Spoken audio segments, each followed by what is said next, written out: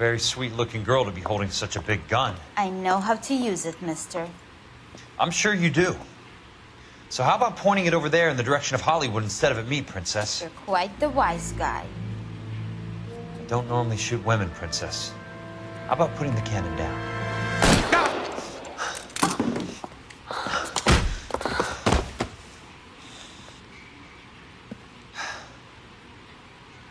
I didn't think you had the guts, sweetheart.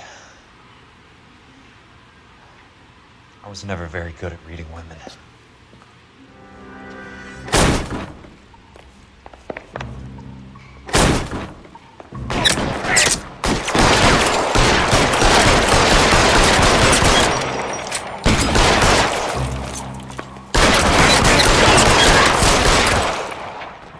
Throw out the guns!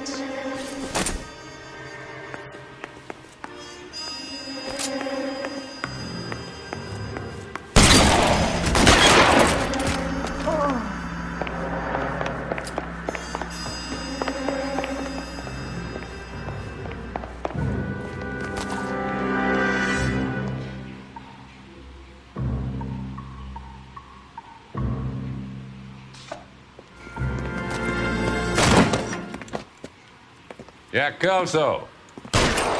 That's my opening negotiating position.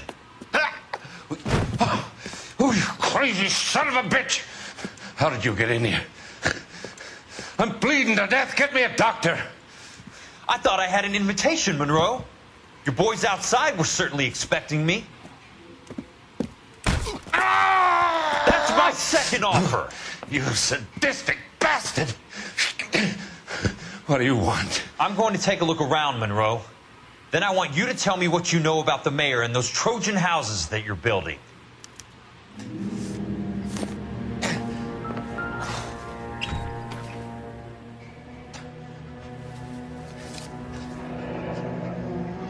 That's a hell of a payroll.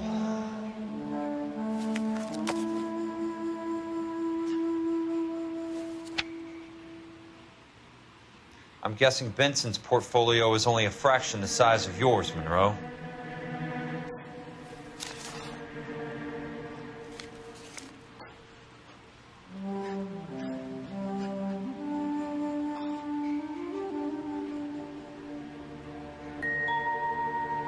Smart. Keep the dirt on Fontaine under lock and key. This is your insurance.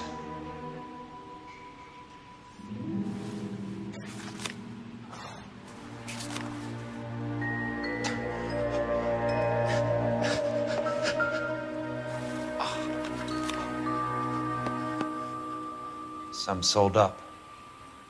The others obviously didn't know the links these sons of bitches would go to.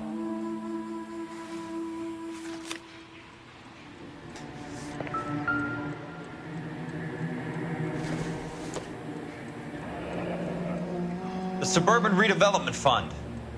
Remind me what they say about absolute power, Monroe. Fuck you, Jack.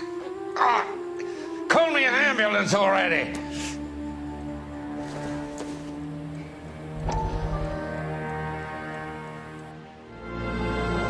Fontaine, I need to speak with you urgently. Sit down, please, sit down. Tell me about the Suburban Redevelopment Fund. It's the fund we are using to channel money into the development of new houses. Why is my name on the board of managers? Technically, you are a major contributor. Please, Courtney. Those houses are a sham, Doctor. They're going to be burned for the insurance.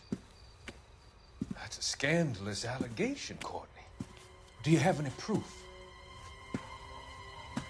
Jack Kelso, an investigator for California Fire and Life, has seen them. He was almost killed when he found out what was going on. I don't know what to say. I feel that I have been duped. Who do you think is behind this subterfuge? Jack says it's a property developer named Monroe. He said it goes all the way to the mayor. You cannot have believed that I was involved. I don't know what to believe anymore, Doctor. I hope that you weren't involved. Thank you for your trust, dear boy. Be still, Courtney. All of your troubles are finally over. Let them go.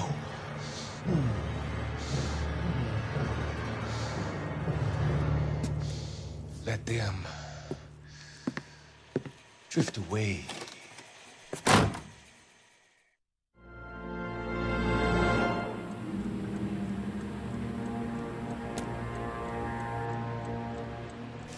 It can't be stopped, Kelso.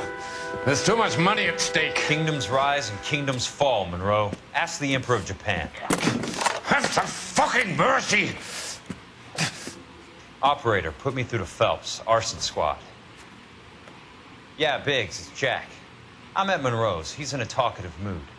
If you get here in a hurry, you might get something before he bleeds to death. Elsa, oh, Thank God. where? Fontaine. Dead? Former patient. So that crazy son of a bitch finally came back for a checkup. It's Monroe. He's raving. You want information, cocksucker. You get me some medical help. I've got to go, Herschel. Monroe's negotiating again. Do you want my final offer, Leland? Tell me how I find the guy who has Elsa. Not Casey. He, he did whatever Fontaine asked. He, he had some kind of power over him. He, he, he did all the fires uh, and then A he went name, off the rails. I don't have a fucking name. He worked as a bug sprayer. Get me a goddamn doctor.